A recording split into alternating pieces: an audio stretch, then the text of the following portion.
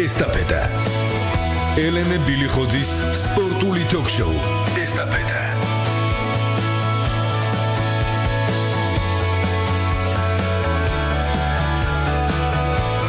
მოგესალმებით, ეთერშია სპორტული ток-შოუ ესტაფეტა მიკროფონთან ელენე ბილიხოძე. წარმოგიდგენთ დღევანდელი ჩვენი გადაცემის სტუმარს, ბატონი ანზორ ერქომაიშვილი. ჩვენ დღეს ქართული ფეხბურთის ლეგენდას ნოდარ ახალკაც გავიხსენებთ. დღეს მისი გარდაცვალებიდან 20 წელი შესრულდა. შემოგვიერთით 240-91-92-92-92-92 კითხვას და მოსაზრებას კი ჩვენს ვებ გვერდზე ველით.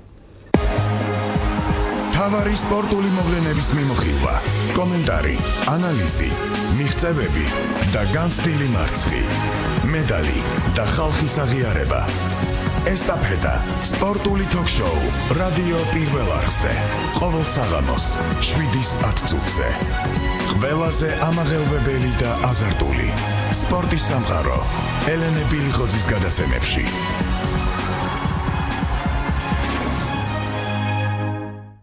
ბატონაზორ კიდევ ერთხელ მოგესალმებით. განსაკუთრებული მადლობა რომ აი ამ დამღლელი დღის შემდეგ მაინც მოახერხეთ და მოხვედით ჩვენთან სტუდიაში სტუმრად.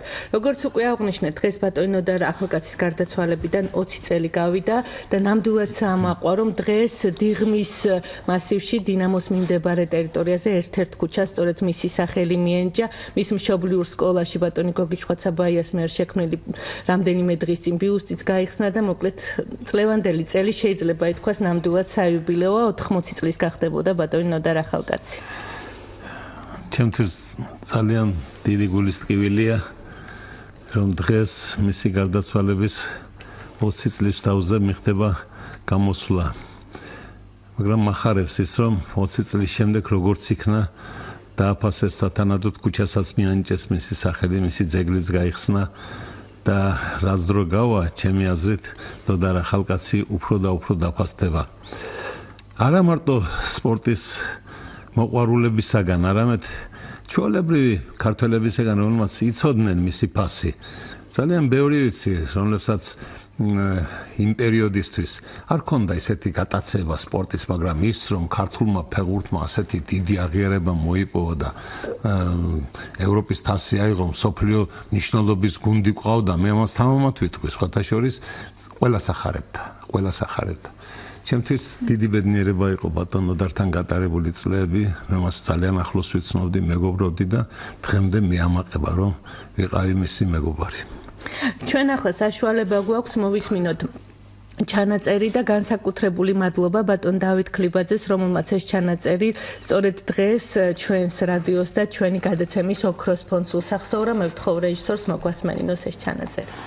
ჩვენ არ დაგვიწყია თბილისის დინამოს ისტორია, ასე ნუ გაიგებთ ჩემ ნათქვამს, ჩვენმა თაობამ მწვრთნელებმაც და ფეხბურთელებმაც გააგრძელეს ის დიდი ტრადიციები, რომელიც გუნდში 1925 წლიდან იყო ჩამოყალიბებული. ყველა თაობამ შეიტანა თავისი წვლილი იმ მე ვიტყოდი თამაშის მანერაში, სტილში, რომელიც წლების განმავლობაში ყალიბდებოდა თბილისის დინამოში და იყო მარტო ამ გუნდისათვის დამახასიათებელი. წრთობა ჩვენი გუნდისა და ფეხბურთელებისა მიდიოდა როგორც მოგეხსენება საბჭოთა კავშირის ჩემპიონატში მონაწილეობით, თასის გათამაშებაში მონაწილეობით და მე და პირდაპირ თქვა, რომ ერთ-ერთი უძნელესი და უმძიმესი ჩემპიონატი იყო თელსოფლიოში. მე მინდა ვთქვა, რომ გერმანიის გუნდი კარლ ცეისი, თასის ფლობელი, ერთ-ერთი საუკეთესო გუნდი იყო იმ დროს ევროპაში. და გერმანიის ნაკრებში 7 ფეხბურთელი თამაშობდა. და ნაკრებმა ერთი წლით ადრე მოსკოვის ოლიმპიადაზე საბჭოთა კავშირის წინააღმდეგ რანაირად იასპარეზა კარგად იცით და 6 წლით ადრე კიდე სოფლიო ჩემპიონატზე თვით სოფლიო ჩემპიონებსაც მოუგეს გერმანიაში. მე მინდა ამით თქვა რომ ეს გუნდი იყო დაკომპლექტებული გამოცდილი ფეხბურთელებით, რომელსაც ნაკრების დონეზე და კლუბის დონეზე მრავალი საერთაშორისო შეჯიბრი ჰქონდა ჩატარებული და რაც თავარია, აი ზუსტად იმ შეჯიბრში, რომელშიც ჩვენ და მაგენი ფინალში გავედით, ძალიან დიდი გუნდები გამოთიშეს შეჯიბრებიდან. ამიტომ მე ვფიქრობ, რომ ფინალი იყო დაძაბული, ძალიან დაძაბული და დაძაბულობა შექმნა იმანაც, რომ წინა ტურში კალენდარში. ჩვენმა გუნდმა ძლიერად ჩაატარა თამაში ნეპროპეტროვსკის გუნდის წინააღმდეგ და მაგათმაც სახში 5-0 მოიგეს. აი ეს გახდათ ეს ჩანაწერი კიდევ ერთხელ მადლობა ბატონ დავით ქლიბაძეს. ბატონ ანზორ საკმაოდ ემოციურია, როდესაც ისმენ ამ ყველაფერს და თავად საუბარიც იწყება, რომ ქართული ფეხბურთის ისტორია არ დაწყებულა ჩვენი წარმატებით და ძალიან დიდი ისტორიის გაგრძელებაც იყო თავად ბატონ ნოდარისთვისაც და იმ გუნდისთვისაც, ვინც ითამაშა 13 მაისის ფინალი. დიახ. მე შემძრა ახლა ნოდარის ხმის გაგონება ამდენი წელია მისი ხმა აღარ გამიგონია და ჩემ თვალწინ გაცოცხლა ეს არაჩვეულებრივი პიროვნება. პიროვნება, რომელიც აქვე იგრძნობა მართლაც, რომ ის თავის თავზე არასოდეს არ ლაპარაკობდა და თავის წარმატებებზე არასოდეს თავის თავს წინ არ დააყენებდა. მე მოგახსენეთ, ჩემი აზრი გამაჩნია, რომ საქართველოსი ნიჭიერ ფეხბურთელებს რა გამოლევდა უნიჭიერესი ყოველა თაობას ყავდა საუკეთესო ფეხბურთელები. მაგრამ ასეთი გუნდი რომელიც ნოდარ ხალკაცმა შექმნა ალბათ არც ერთ მსხვილს არ ღირსებია. ეს იყო მხოლოდ უშუალოდ ნოდარ ახალკაცის დამსახურება. მე კარგად მახსოვს 70-იანი წლების ფეხბურთი ჯერ აღმავლობა 64 წელს ტაშკენტში ფინალი ამის შესახებ რამდენიმე დღის წინ საუბრობდით. მე მეგობრობ ჩემი საყვარლესი მეგობარია გენიალური ფეხბურთელი მართლაც სიომა ბარქაია და ერთად ვიყავით. და მსჯელობდით ბევრ რაღაცას ვიხსენებდით და სწორედ მასთან ერთად საუბარში გაირკვა რომ იმ პერიოდის ფეხბურთელები მართლაც არაჩვეულებრივი იყვნენ. თბილისის დინამო 64 წლის იყო ალბათ ერთ-ერთი საუკეთესო გუნდი. არა მარტო საბჭოთა კავშირში და როგორც ბატონ მანდოდარმა ბძანა საბჭოთა კავშირის ჩემპიონატი მაშინ ძალიან დიდი ჩემ ძალიან ძლიერი ჩემპიონატი იყო. შემდეგ პერიოდში ჩავარდნა ქონდა თბილისის დინამოს. აი 60 15-16 წლამდე მოგეხსენებათ იყო თაობათა ცვლა, მოვიდნენ ახალი ფეხბურთელები, მწვრთნელები, ერთი, მეორე, მესამე შეიცვალა და როცა სათავეში ბატონინო და ახალკაცი მოვიდა, გუნდი სულ სხვანაირად ათამაშდა. მე აღარ მინდა ახლა თქვენი ყურადღება მივიქციო იმითიდან რომ რა წარმატებები ქონდა და მესამე ადგილიდან რო დაიწყეს საგაზაფხულო ჩემპიონატი, მე საშემოდგომო ჩემპიონატი, ორივეზე მესამე ადგილი, მე მეორე ადგილი, მე თასის ფინალი, მე პირველი ადგილი, ისევ თასი, ევროპის თასი, რომელი ერთი გავიხსენოთ, წელს არ უშვებდა თბილისის დინამო და ახალკაცის ხელში რომ საბჭოთა კავშირში საუკეთესო არ ყოფილიყო, საუკეთესო არ ყოფილიყო. და მე მინდა მართლაც მადლობა უთხრა ინკას საოცარი შრომისა და თავდადებისათვის, რომელიც ქართული სპორტისა და თბილისის დინამოსთვის გააკეთა. ბატონაზორა, თქვენი შეხება ფეხბურთთან, როგორ დაიწყო? აი როგორც გულშემატკივარი ანზორ ერქომაიშვილი. რა ეტაპები გაიარეთ, თქვათ აი ამ სრულიად პატარა ვიყავი. მაკვანეთელი გახლავართ მოგეხსენებათ თქვენი თანასოფლელი პატარა ბავშვები თამაშობდნენ სკოლაში როგორც ყველა ბავშვი თამაშობს мама ჩემი იყო ძალიან დიდი გულშემატკივარი ფეხბურთის და სულ დადიოდა უზურგეთის თამაშებზე სტადიონზე დადიოდა და მეც თან დავხავდი და ეს ჩემთვის ყველაზე ბედნიერი წუთები იყო მაშინ იმ პერიოდში არც ტელევიზორი იყო, არც არაფერი, ბავშვები რადიოში ერთი ცენტრში სოფლის თემსვეძახით ჩვენ იყო ერთი შავი დიდი რადიო ბოძზე აკროლი და ფეხბურთი რო იყო მთელი უბნები მოდიოდნენ ეგ და იქ უსმენდით თო თბილისის დინამო რასიზამდა. ყოველას თამაშები ვიცოდით, ყოველას გვარები ვიცოდით ზეპირად. ყოველას ჩვენი ისინი ყავდა გამორჩეული ლიდერები და ფეხბურთსაც ავთამაშობდით მაისურზე ყოველთვის შავი ბალის ვით ვაწერდით ხოლმე ნომერს. ჩემი კუმირი იყო კაცო ჩემი ასეთი ნამდვილი საფეხბურთო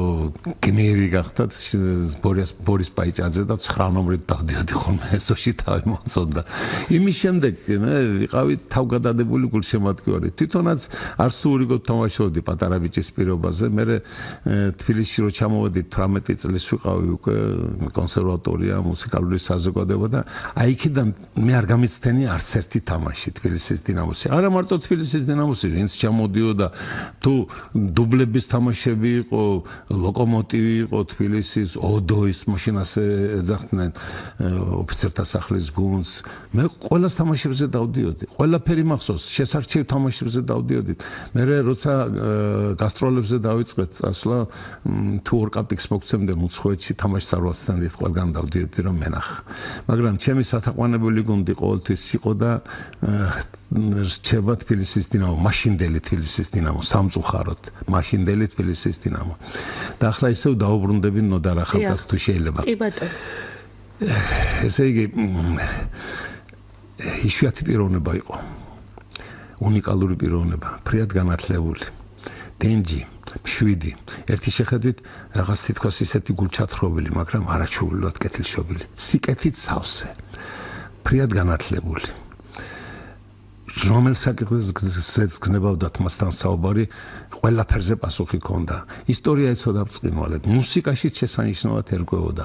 მე მყავდა მეგობარი პროფესორი უნივერსიტეტის ლექტორი ბატონი დურმიშხან ცინცაძე, რომელიც მისი უახლოესი მეგობარი იყო და დურმიშხანმა გამასწრა ბატონი ნოდარი. ჩვენ ხშირად მიდიოდით ბაზარზე ბატონ დორმიშხანთან ერთად. დიღმის ბაზარზე და უყურებდით დინამოს ვარჯიშებს. მე ვხედავდი რომ ეს კაცი როგორ იწოდა თავის გუნდთან ერთად. მახსოვს ერთხელ ძალიან ძლიერი წვიმა წამოვიდა. თქეშინოდარი გარეთ იყო და მითითებებს აძლევდა თავის ფეგურტელებს მათ გვერდით დადიოდა მოედანზე. ვიღაცა უთხრა შედი კაცო და შენ რაღაც სველდები მაინც თქეში იყო პირდაპირ საშინელი თქეში. არაო ჩემი ბიჭები თუ წვალობენ მეც მათთან ერთად უნდა ვიყო. ისე არ გამოვა საქმე და თუ გული არ ჩადე. მართლაც ესე იგი ის იყო თავგადადებული ნამდვილი ფანატიკოსი მაგრამ კარგი გაგებით ფანატიკოსი მას უყვარდა თავისი სამშობლო, რა ვიცი, ალბათ ყველაზე უფრო და ეს იყო მისი პატრიოტიზმის რაღაც გამოხატულება ერთ-ერთი თავისი ნიჭის, ტალანტის, შესაძლებლობების ჩადება ამ პატრიოტიზმში, რომლითაც მართლაც ქართული ფეხბურთი აღორძინა და ჩვენთვის ქართული ფეხბურთი იმ პერიოდში იყო ომი, ნამდვილი ბრძოლა იყო.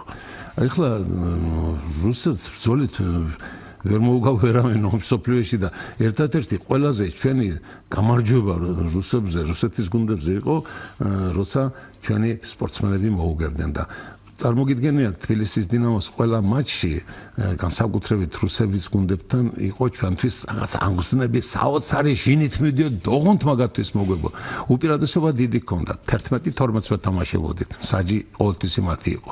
ამიტომ 12 კაცი 12 კაცი გვებრძოდა. და როცა მათ მოუგებდით ეს იყო ჩვენი ყველაზე დიდი გამარჯვება და ნოდარ ახალკაცი.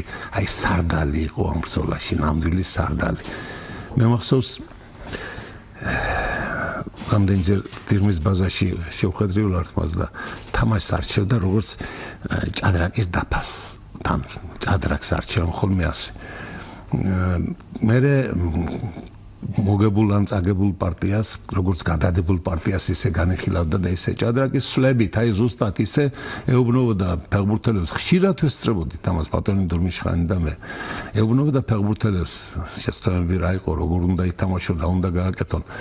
და ეს ერთ-ერთი მწვრთნელი იყო, შეიძლება ერთადერთიც არ ვიცი, რომელიც წაგებულ პირველ ტაიმს იგებდა მეორე ტაიმში. ესე იგი, საოცარი ტაქტიკოსი იყო.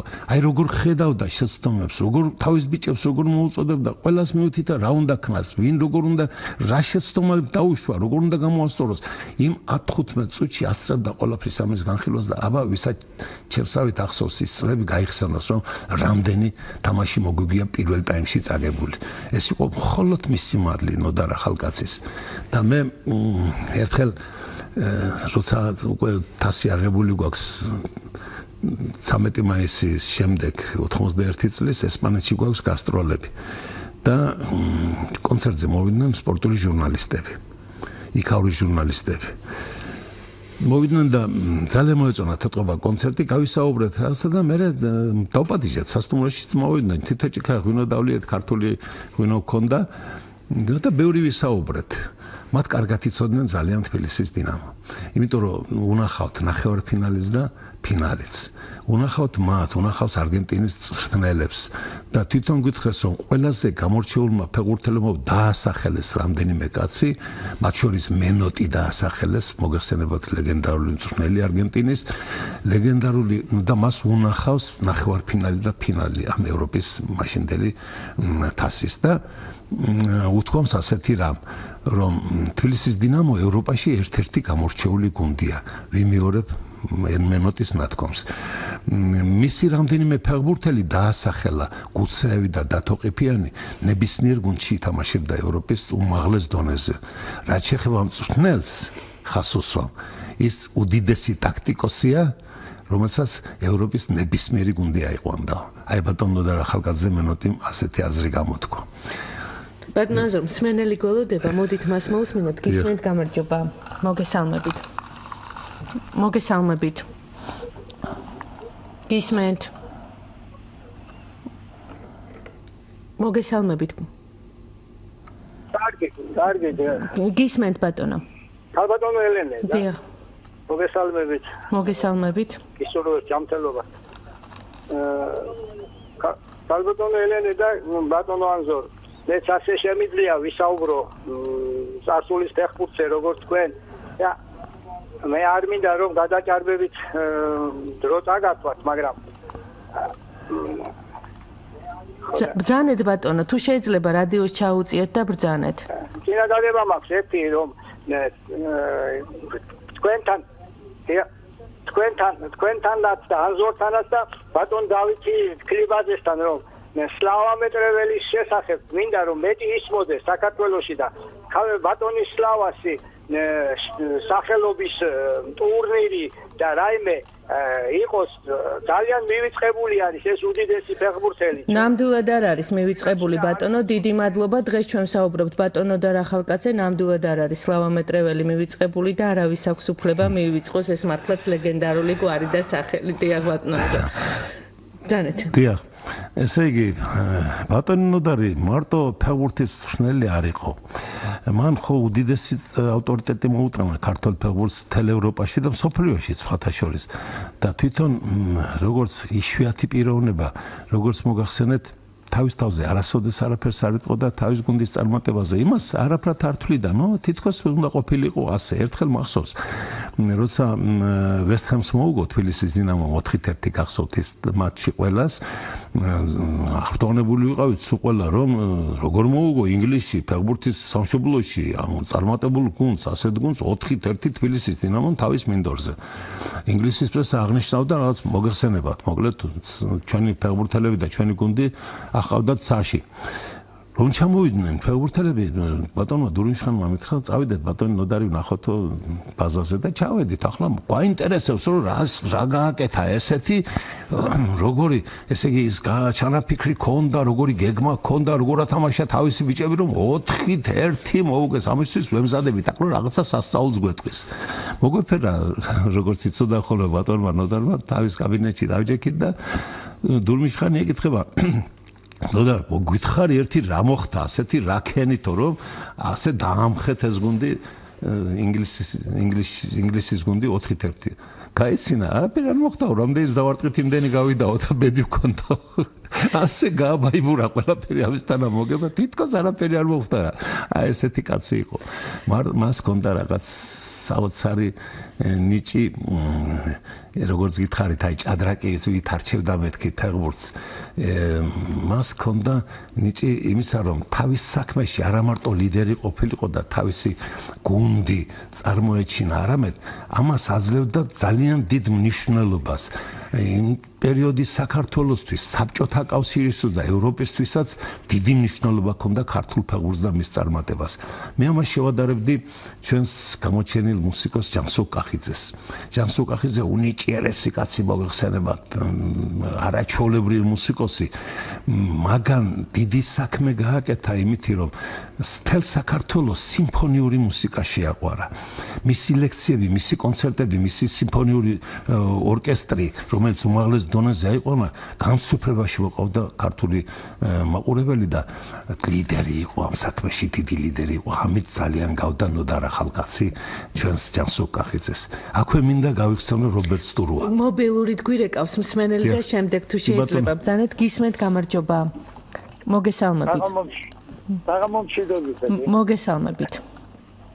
ძალიან გამიხარდა რომ უცებ ჩავდე და იყო ლაპარაკი ჩემი უსაყვარლეს ადამიანზე ნოდარ ახალკაცზე.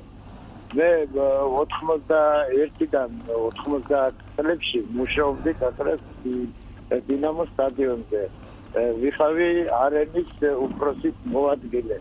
ლეოს ჩემბაში და ფეხბურთში. ნოდა რახალკაცი იყო უმაღლეს. აი ეხლა რო მაგისთანა ასე იგი წვრთნელი როგორც ნოდა რახალკაცი იყო ეხლა არც სად არის სოფლიოშიც კი არ იქნება მე ასე მგონი.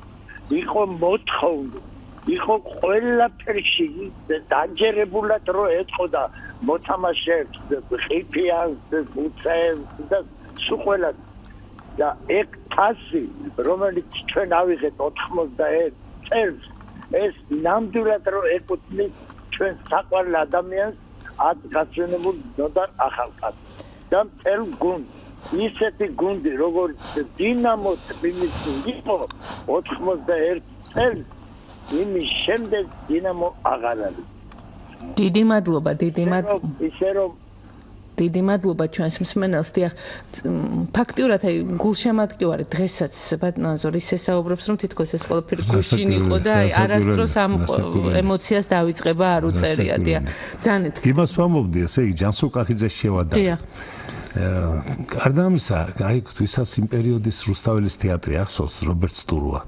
ესე იგი, ეს თეატრი აიყვანა უმაღლეს საშემსრულებლო დონეზე. სოფლიო მნიშვნელობის თეატრი გახადა. ნიჭიერ სახიობებს რა გამოლებდა მაშინაც, მაგრამ ანდონის თეატრი არასოდეს ყოფილა რუსთაველის თეატრი. ეს იყო რობერტ სტურვა, პიროვნება, რომელმაც ქართული თეატრი უმაღლეს დონეზე გაიყვანა სოფლიოში, სოფლიო არენას და დღესაც ახსოვთ ის წინვალე სპექტაკლები, რომელიც რობიკო სტურვამ მაშინ დადგა. ესე იგი, მე ამ სამ პიროვნებას ვასახელებ ჯანსუკახიძეს, მოდარა ხალკას და რობერტ სტურუას, რომელმაც იმ პერიოდის საქართველოსში ყველაზე მაღლა ერთმა თეატრი, მეორე ფეხბურთი, მესამე მუსიკა აიყვანეს და გაიყვანეს. ნამდვილი რენესანსი იყო იმ პერიოდში ქართული კულტურის და სპორტის და ეს სამი პიროვნება მე ყოველთვის შემიძლია ერთად დავასახელოთ. ეს სამი გენიოსი ყავდა, რომელმაც აი ასე დონეზე გაიყვანეს ქართული სპორტი და ქართული ხელოვნება. ბატონო ზურაი, ყოველთვის ყავდა ბატონო და რახალკაც გულშემატკივარი, იგივე ვთქვათ, ხელოვნების წარმომადგენელი, კონსერვატორიის ფაქტურად პროფესორა მუდმივად დადიოდა ამ მარჩებზე. რა იყო ის ხიბლი, რომელიც აი ყველას იზიდავდა, მსახიობს, ხელოვანს, ნებისმიერი პროფესიის ადამიანს, მაგრამ მაინც იყვნენ ეს გამორჩეულები, ვისაც ჰქონდათ ეს ავტორიტეტიც და დიახ, რაში ეცით საქმე. იმ პერიოდისთვის, როგორც მოგახსენებთ, ეროვნული ესეთი შეგრძნება იყო, შეგნება იყო უმაღლეს დონეზე აყვანილი და გამწვავებულიც კი. ესე იგი, ჩვენ ქართული ყველაფერი მიგვაჩნდა, რაც კარგი იყო მართლა საუკეთესო და სულ ყველას გვინდოდა, რომ რაც კარგი ქონდა, გამოგვეჩინა. იმ მოკავშირე რესპუბლიკებს შორის ყოველთვის წინ ყოფილიყავით, როგორც ხელოვნებაში, ისევე სპორტში და ყველა ვცდილობდით, რომ ეს ჩვენ თვითონ გამოგვეხატა ჩვენი გულის ტკივილი თუ სიხარული და როცა თბილისის დინამო აი ასეთ ფორმაში იყო ეს იყო ჩვენთვის არა მარტო სპორტის არამედ პატრიოტიზმის უმაღლესი შეგრძნება. იცი რაღაც ჩვენ მოვალეთ ხვიდი თავს ვისაც საქართველოს უყვარდა იქ უნდა გვერდში დადგმოდა ქართულს ქართულ სპორტს ისე როგორც სხვა დარგებს. მათ გვერდით ყოფილიყო და მათთან ერთად ჩვენ უნდა გაგვეცადა ყველაფერი ის რაც ხდებოდა ჩვენს ირგვლივ და საქართველოს და ქართული ფეხბურთი რომ ასე აყვავებული იყო.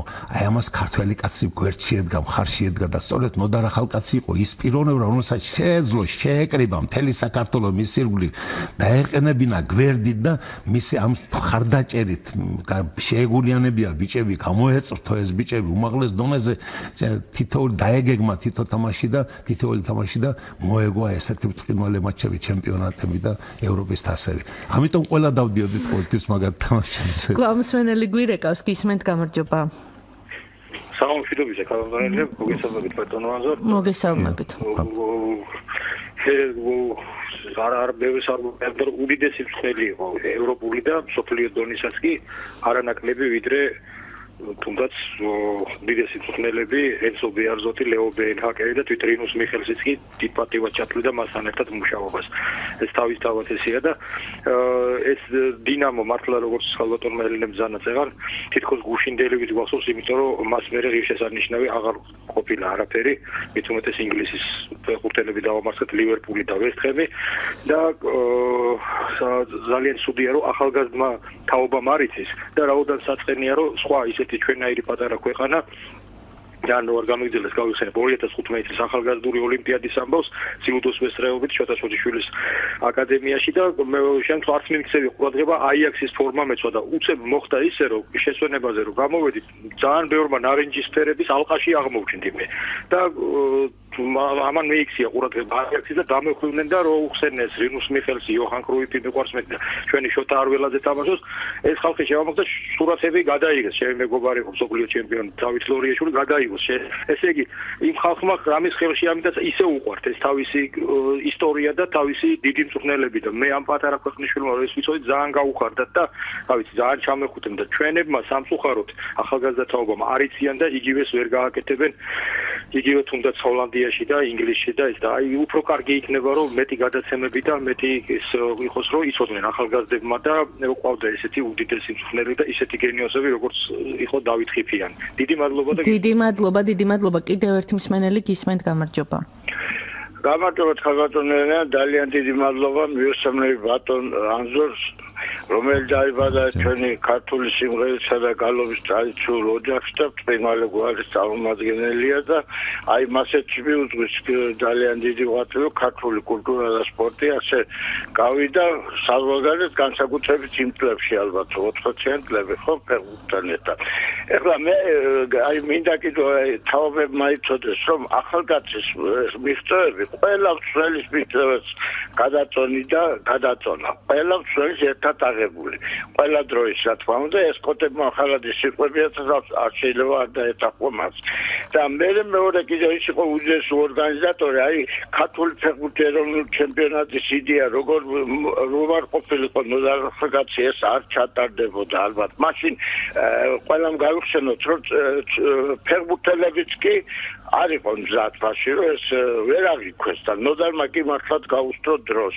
იგი უდიდესი პიროვნებაც იყო ამის რომელიც ჩვენ თანდათანობით უფრო მიხვდებით. აი მისი ესე იგი როგორ გადაჭრა თამაშის ესა ყიფიანი ძელი პასები აი თქვენ ახსენეთ ვესტემთან მოგებული თამაში. აი რამდენი მეტრო 30 თუ 40 მეტრო პასი მისცა ისეთი დიაგონალური პასი. სისტუტი დიახ. აი მასეთი პასები 62 წლიდან მე ახლა სოფლიო ჩემპიონატზე მახსოვს.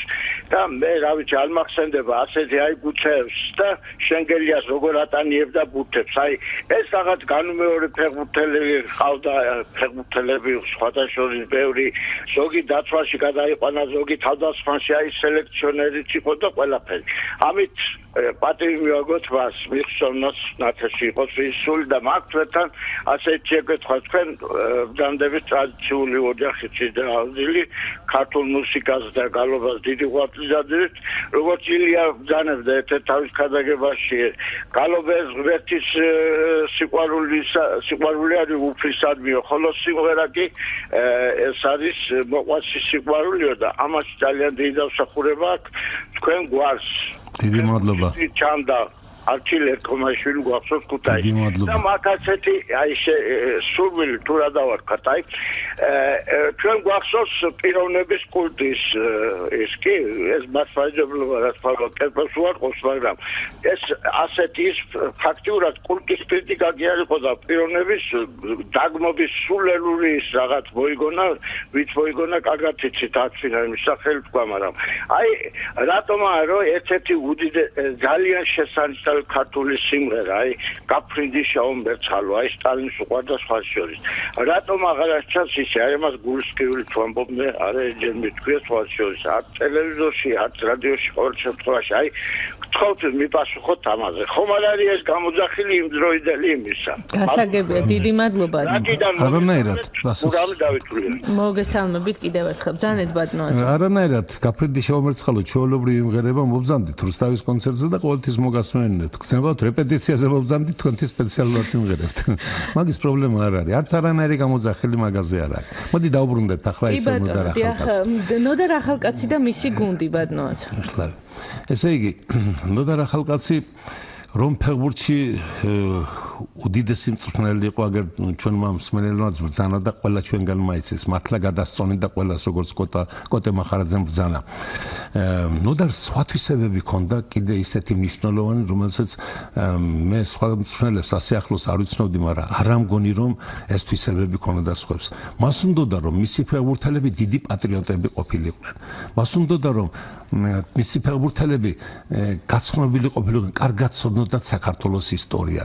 ის ბრძოლები, რომლებიც საქართველოს გადაიტანა, რომელიც საქართველოს მოიგო, თუ ერეკლე მეფის, თუ დავით აღმაშენებლის, თუ რომელი ერთი შემოთვალოთ, ყველა ბრძოლების შესახებ უყვებოდა თვითონ, მოყავდა ლექტორები სპეციალურად უნივერსიტეტიდან. არაერთხელ დავსრულე ბატონი დულმიშხან ცინცაძის ისტორიკოსის ლექციას და რამთეული თვალებით უყურებდნენ ფეხბურთელების ახალგაზრდა ბიჭები, როცა ისყვებოდა გიორგი სააკაძის ბრძოლებს, რომ დავით აღმაშენებლის დავით აღმაშენებლის დიდგორის ომზე რა ამბავი იყო და მე რა იტყო და ბატონი დურმიშხანი რომ აი თქვენი დიდგორი ხვალმწვანე მინდორია აი იქ რო გახვალთ იქ უნდა ჩვენოთ ის გმირობა რომელიც მაშინ დავით აღმაშენებელმა აქამდე მოგვიტანაო მე მაინტერესებდა ძალიან ყველაფერი ბატონი ნოდარის ის იწევდა ლექტორებს სპეციალურად უნივერსიტეტიდან სხვადასხვა კონსერვატორიიდან. რამდენიმე კი როგორ არა.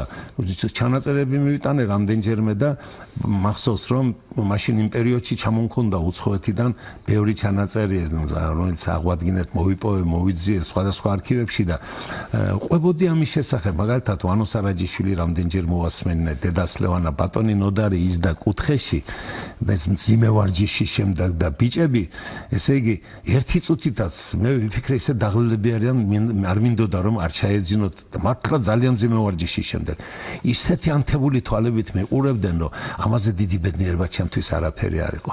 ხო და მოეფერებოდი, გამოვიდოდი ბატონოდარს, მეუთხარი გენაცვალე ბატონოდარო, აი ეს ბიჭები ასე მოთხარი აზიარეთ მეთქი ქართული სიმღერის მას.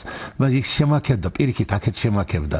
მაგრამ თავარი რა იყო იცით რომ ბატონოდარს უნდოდა რომ მისი ფეხბურთელები ყოფილიყვნენ ჩახედული ქართულ ისტორიაში, ლიტერატურაში, მუსიკაში, რომელიც თვითონ შესანიშნავად რკოვდა ყველაფერში და ალბათ ეს იყო ერთ-ერთი თავარი ფაქტორი რომ ბიჭებს გამწვეული ქონდათ აი ესე პატრიოტული გზნობა, იცოდნენ ვისი გორისანი იყვნენ და ამიტომ თამაშობდნენ ასე თავგადადებული, ასეთი საოცარი ესე იგი ენთუზიაზმით, საოცარი ოსტატობით და აი ამიტომ იგებდნენ ასე ძლიერ ბრძოლებს თუ შეიძლება ასე ითქვას, რომ სწორედ ეს ანარეკლი იყო ქართული ისტორიიდან და მუსიკიდან სხვათა შორის. აი ბატონ ნოდარს ეს ქონდა მართლაც ძალიან მნიშვნელოვანი ესეთ თვისება მე ვფიქრობ და მაშინდელი ფეხბურთელები როცა დღეს ხვდები მათ მე ჩემი მეგობრები არიან ბევრი მათგანი როცა ხვდები აი ამ პერიოდს იხსენებენ როგორ უსმენდნენ ისინი გავრა გამოჩენილი ისტორიკოსებს ლიტერატორებს მათ შორის ჩემ გვარსაც ასახელებენ და ეს იყო მე ვფიქრობ ერთ-ერთი მნიშვნელოვანი ფაქტორი თბილისის დინამოს ასეთი წარმატებისა.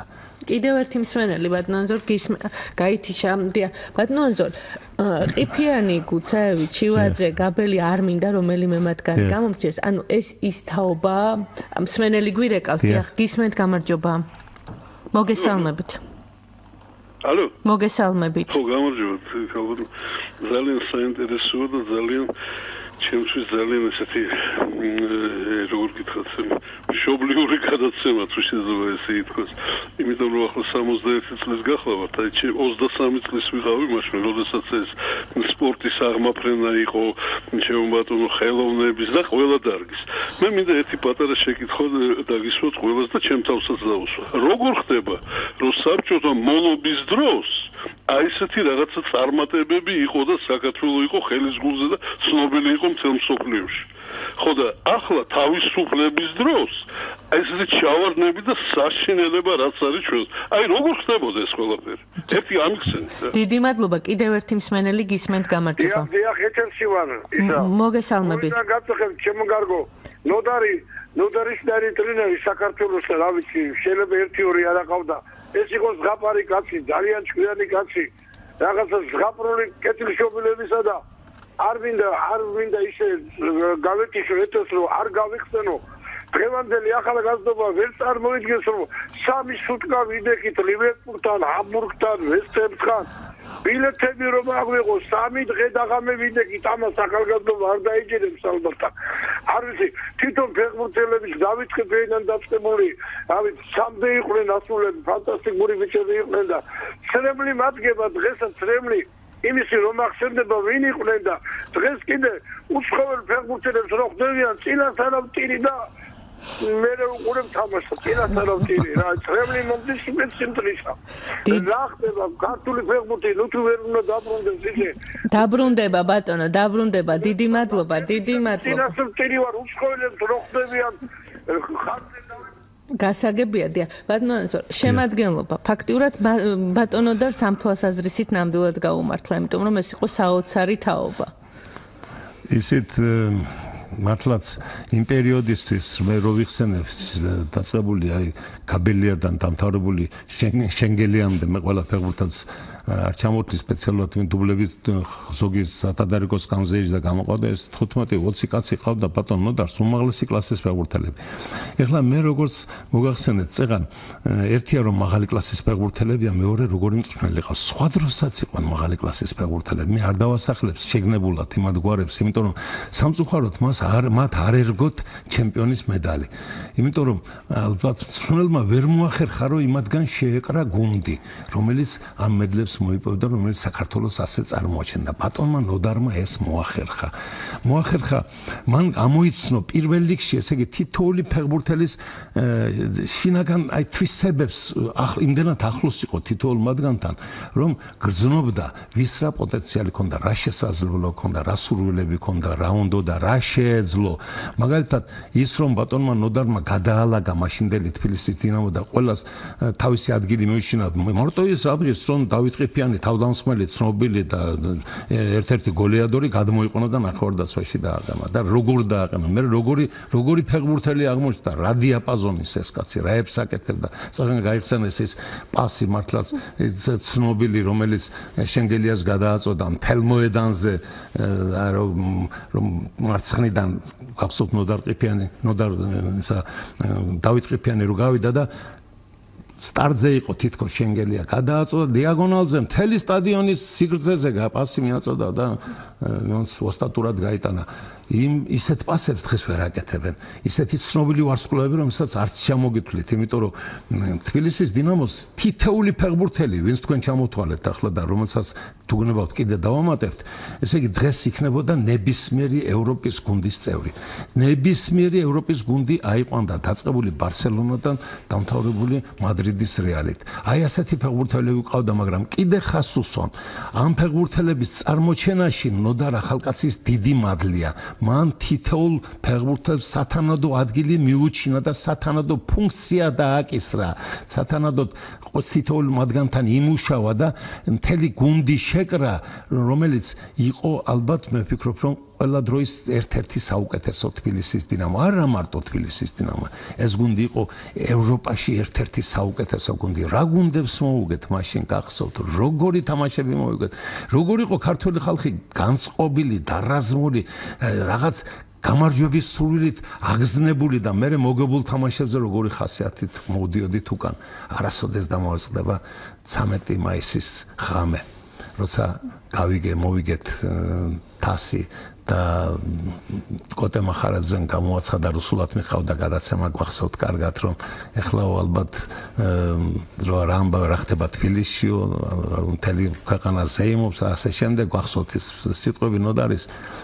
მე ასეთი საქართველოს არ მინახავს მას შემდეგ მე ვადარებ ალბათ 1945 წელს 9 მაისს როცა სამამულო ომი მოვიგეთ და მაშინ ალბათ რაც ხდებოდა ქუჩაში იგივე გამეორდა 1991 წლის 13 მაისს.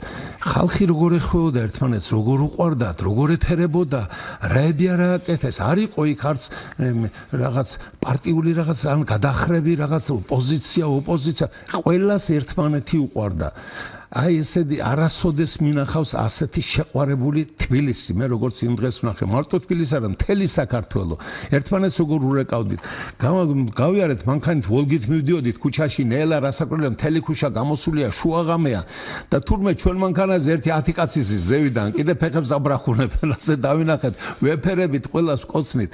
მაშინდელით იმ ღამინდელი თბილისი ვისაც ახსოვს დამერწმუნება რომ ასეთი ბედნიერი თბილისი არასოდეს ყოფილა ეს ბედნიერება თბილის და საქართველოს ნოდარ ახალკაცმა მოუტანა. მხოლოდ ნოდარ ახალკაცის და მისი ბიჭების წარმატება იყო. და სწორედ მათი აი ბატონი ნოდარის თავდაუზოგავი შრომისა და ნიჭიერების შედეგი იყო რომ საქართველო აი ასეთი გახარებული და გამთლიანებული იყო იმ ღამე სიტყვას გამთლიანებას უსვამხას მე საქართველოს ასეთი გამთლიანებული არასოდეს მინახავს და ღმერთმა ქნას კიდევ გვანახოს საქართველოს ასეთი გამთლიანებული გამთლიანებული მაშინ დოდარ ახალკაცის სახელი კიდევ უფრო გაბწყინდება და საუკუნეებს გახვება ყომსმენელი გველოდება გისმენთ გამარჯობა გისმენთ ალო, საღამო მშვიდობისა, გენაცვალე მოგესალმებით, მოგესალმებით, მოგესალმებით, ბატონი აზორის და დავით და ზოგად ბატონო ელენე. აი დღეს ისევ დიდი ძვირფასი ბალანს კოლორიდის, ბალანს დიდი ინტელექტი ადამიანის გახსენება არის. ბატონი ნოდალა ხალკაცის და ესე მართლაც ლეგენდა იყო, კაცი ლეგენდა ხავდა მას მართლაც ესე ესე იგი ლამაზი ძლიერი ბიჭები ყველანაირად სულის და გულზე სიამაყეა საქართველოსში, მაგრამ ერთი დამინდა ახლა იქ ხელოვნების რა როგორც აზორე ხომ აი სულის სახით, აი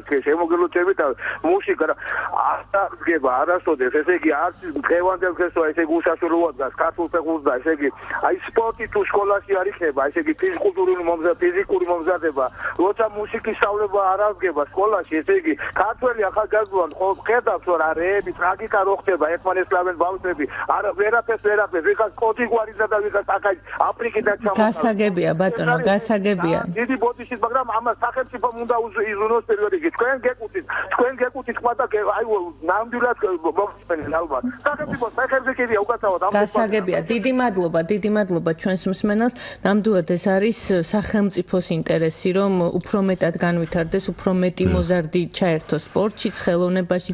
ბატონო, ნელ-ნელა სრულდება ჩვენი გადაცემა და მე არ მინდა არ გაიხსენოთ რომელიმე ესეთი თამაში, გასვლითი თამაში, სადაც თქვენ თქვათ რუსთავთან ერთად იყავით თვითმხილველი თბილისის დინამოს ტრიუმფი. დინამოსი. არაერთხელ, ესე იგი, სადარ ყოფილვართ, მოსკოვში რამდენჯერ დავსწრებივართ ასეთ თამაშს. სხვათა შორის უცხოეთში თბილისის დინამო არ ყოფილა, რუს დინამოს თამაში ვერ მოხდი. შესაძლოა რომ მაშინ ჩაკეტილი იყო ყველაფერი და ვერ მივდიოდით, მაგრამ ტელევიზიიდან მეც სულ უყურებდით. რა შეიძლება საბჭოთა კავშირის იმაში რამდენჯერ ყოფილა არის? კიევში მინახავს თბილისის დინამოს თამაში, მოსკოვში მინახავს, მინსკში მინახე. ნუ საქართველოს ახლა ლაპარაკი არ არის. მაშინ ჯერ კიდევ სტუდენტები რო ვიყავით, მაშინ სტუდენტის ფულს ვაგროვებდით და მივდიოდით მოსკოვში თამაშებს ვესწრებოდით. და აი ნოდარ ახალკაცთან ერთად მაშინ ბატონი დურმიშხანი სულ დაყვებოდა გონს ცინცაძე, სულ დაყვებოდა. და მახსოვს 13-0 რომ მოუგეთ ერევნის არარაც თასის ფინალი რომ მოუგეთ მაშინ სტადიონზე ვიყავით სულ ყველა მოსკოვში და ეს იყო მართლაც არაჩვეულებრივი მოგება და ესე გახარებული სულ ყველა გამოვედით ბატონი დურმიშხანი ნახეთ ფეხბურთელები იმ წუთში ვერა მაგრამ მე მოგვიანებით ნახეთ მე ბატონი ნოდარ ახალკაცი და ძალიან დიდი სიხარული იყო ჩვენ იმიტომ რომ მაშინ თბილისის დინამო მითამაშა სხვა ფეხბურთი ის ფეხბურთი რომელსაც ბოდის მოვიხდი მაგრამ ჩვენი ეროვნული მეგობრები არ ელოდებოდნენ. იმათ ეგონა ჩეულებრივი ძლიერი თბილისის დინამო რომელსაც შეხვდებოდნენ და ჩეულებრივი თამაშს თამაშებოდნენ და მომზადებული იყვნენ რომ მოეგოთ მაგრამ სულ სხვა რაღაცა, სხვა ტაქტიკა დაუპირისპირა ბატონმა ნოდარმა. მე არასოდეს დამავწდება იქ მამჩარმა ჩაიძეს თამაში ვოლობ. ჩელებაძის გატანილი გოლი. ჩელებაძის ნათამაში გახსოვთ, ესე იგი ჩელებაძე უნიჭიერესი ფეხბურთელი იყო, არაჩვეულებრივი პიროვნება, ქობულეთელი კაცი იყო და რაც იმან იმ დღეს აკეთა? რომელი ერთი გავიხსენოთ კაცო არაფერის ვიტყვი ჩივაძეზე. ჩივაძეზე და თითოეულ ფეხბურთელზე რომლებმაც მართლა საოცარი დატვირთვით ითამაშეს. მე ვერავის ვერ გამოვყოფ იმიტომ რომ ყველამ გააკეთა ის რაც უნდა გაეკეთებინა და მესამე გოლი რო გაიტანეს. ამოვისუნთქე. ძალიან მინდოდა რომ მოეგა ჩვენს ამოვისუნთქე და ვთქვი რომ აი რაღაც ძალიან გავს ანსამბლს ჩემ ანსამბლს დინამო გუნდი ისიც გუნდია და ჩვენის და აი სიმღერაში კონცერტის შემდეგ გამარჯვებული რო გამოდია გახარებული მაყურებელი ფეხზე რო დგას და ოვაციებს გვიმართავს უცხოეთში. ასეთი ოვაციები იმაზე დიდი ოვაციები რო გაუმართა უცხოელებმა მოსკოველებმა რუსებმა საქართველოს გუნდს ფეხზე დამდგარი ოვაციებით შეხვდა და ასე სიხარულით გააცილა ჩემთვის ამაზე ბედნიერი წუთები არ არსებობს. როგორ ვიყავით ყველა გახარებული მე საღამოს აღნიშნეთ ეს პატარა ლამას იმას შევიკრიბეთ და მაშინ ითქვა ასეთი სიტყვა რომ სანამ აი ასეთი გუნდი ეყოლება საქართველოს და ყველა სფეროში აი ამისთანაც ძლიერი იქნება როგორც დღეს თბილისის დინამოა მაშინ საქართველოსზე ბედნიერი ქვეყანა არ იქნება. მეც დღემდე მწამს რომ ეს ასე უნდა იყოს. ბატონო ზორ დამოუკიდებელი ქართული ფეხბურთი და ბატონო ნოდარ ახალკაცი საქართველოს ფეხბურთის ფედერაციის პირველი პრეზიდენტი მაშინ ძალიან ძიმე პერიოდი იყო გახსოვთ. მე ძალიან მინდოდა რომ ბატონი ნოდარი ყოფილიყო ისე მწვრთნელი იმიტომ რომ ვერ შეველია მის გუნდს და მის წარმოთვილის დინამოს წარმატებებს მაგრამ რატომღაც როგორც კერძო საუბრებში ასეც საჯარო გამოსვლებში ბატონი ნოდარი ამბობდა რომ არა საქართველოს ყველა გუნდი უნდა შევაჩვიოთ ესე იგი ისეთ ჩემპიონატს როგორც აი უცხოეთში ტარდება ხოლმე და ყველა რეგიონში უნდა ძლიერი გუნდი შეიქმნას. ბატონი ნოდარი როცა აირჩიეს პრეზიდენტად ფედერაციის პრეზიდენტად დიდი იმედები ჰქონდა დიდი იმედები ჰქონდა და მან სწორედ სწორად დასახა ეს გეგმა, რომლის მიხედვითაც ქართული ფეხბურთი უნდა აღორძინებულიყო. არა მარტო ერთი გუნდის სახით, არამედ თანაბარი პირობებში თანაბარი გუნდები ყოფილიყო, როგორც ქუთაისში, ისე თბილისში, ისე ბათუმში, თელავში და ასე შემდეგ. და როცა 22 გუნდი დაასახელეს საქართველოს ჩემპიონატზე, მე ცოტა მართალი გითხრათ, იმ პერიოდის შემეშინდა, ნუ და თქვა, არაფერიაო და ახლა სუსტი იქნება, რომ თანდათან მე მო მოძლიერდება სუსტები გავლენ შემოვლენ ძლიერები ფეხბურთელები დაიზრდებიან განსაკუთრებული ყურადღება უნდა მივაქციოთ ახალგაზრდა ფეხბურთელებს რომლებიც ალბათ დაიკავებენ ამათ ადგილს და ცოტა ხანში ქართული ფეხბურთი აღორძინდება მაღალ დონეზეო. მას ასე სწამდა და ასეც იქნებოდა. სამწუხაროდ მალე გარდაიცვალა მე ბატონი ნოდარი და აღარ იღისა რომ გაწოლოდა ასე ბოლომდე. თორე მე დარწმუნებული ვარ რომ დღეს ის კრიზისი რომელიც ქართულ ფეხბურთს აქვს ნამდვილად არ იქნებოდა საერთოდ მე ფიქრობ რომ ერთი ისე გვიჭირს სომუცხოთიდან უყავს შნელები მაგრამ სამწუხაროდ ისინი წორშველიან დღეს ქართულ ფეხბურთს. მაგრამ მე მწავს რომ მომავალი თაობა გაიზრდება ამის წინ დიღმის ბაზები ვნახე ბაზა ვნახე და ისე მომეწონა იქაურობა ისე მომეწონა ბატონმა ფიფიამ წამიყვანა და მაჩვენა ესე იგი ეს რა ვნახე უცხოეთში ბევრჯერ ყოფილვარ და ბევრი ბაზები მინახავს, მაგრამ ერთ-ერთი საუკეთესოა დიღმის ბაზა, რაც იქ ესე იგი სხვაგან მინახავს. ბატონმა რომ პიპიამ თქვა მაშინ რომ ცოტა ხანში ერთ-ხუთ წელიწადში ისეთი ახალგაზრდობა წამოვა, რომელიც ალბათ ქართულ ფეხბურთს დაამშვენებს და გაუთქვამს სახელს და საქართველოს ფეხბურთი ისევე დო ისეთივე დონის გახდება, როგორიც იყო ადრე, თუნდაც ახალგაზრდის დროს. მე წამს რომ ეს ასე იქნება და თუ ეს ასე იქნება და ქართველი ფეხბურთელები კვლავ დაამშვენებენ სოფლიო ფეხბურთს ისე როგორც დღეს ჩვენი საყვარელი უცხოელი საყვარელი საბედნიეროდ როგორ არა ყველა გამოჩენილი გამორჩეული ფეხბურთელი ჩემთვის უსაყვარლესია მაგრამ როგორც ისინი დაამშვენებენ ამშვენებენ ხოლმე ჩვენს ოჯახებს თავიანთი თამაშით როგორც ჩვენ გვიზიდავენ ხოლმე აი ქართველი ფეხბურთელები მწამს ასეთივე იქნებიან. მე დღეს ძალიან გულის ტკივილით განვიცდი ხოლმე როცა უყურებ აი მაღალი დონის იგივე თამამად ვიტყვი იგივე ბარსა იგივე მადრიდის რეალი რომელი ერთი გუნდი დავასახელო ვერ მინახავს დღემდე მურთასხურცილავას ტოლი დამცველი. ჩივაძეს. ჩენი უსაყვარლესი საშა ჩივაძეს დონის დამცველი.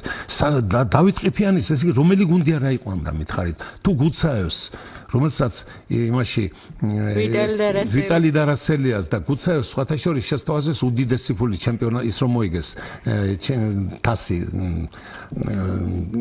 ესპანეთში გახსოვთ ალბათ ის როცა მოიგეს შესთავაზეს კოლოსალური ფული. ხო დარჩენილიყო მადრიდის რეალში.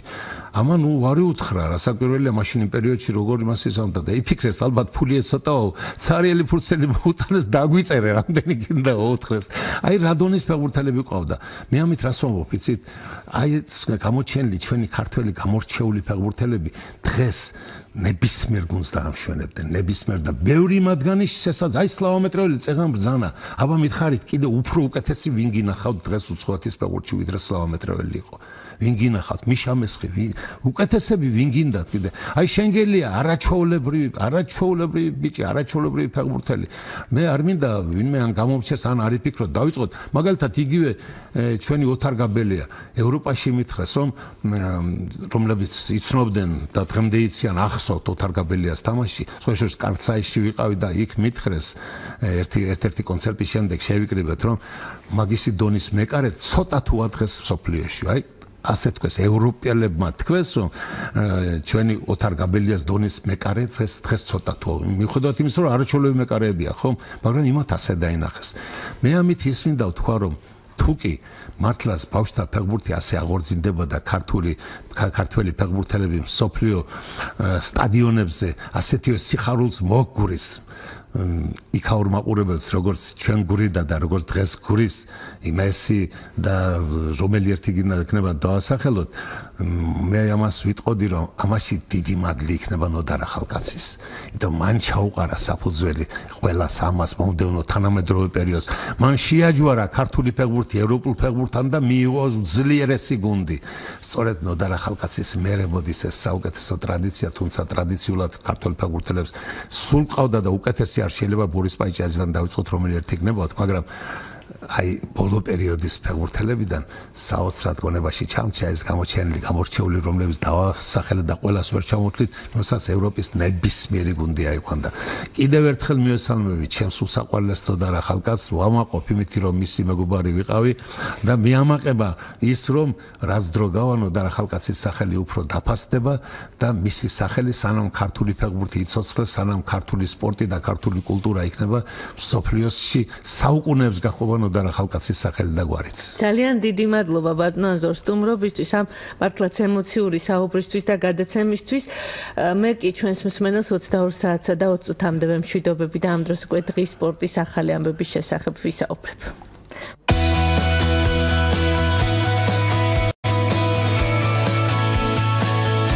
ესტაფეტა. ელენე ბილიხოძის სპორტული ток-შოუ. ესტაფეტა.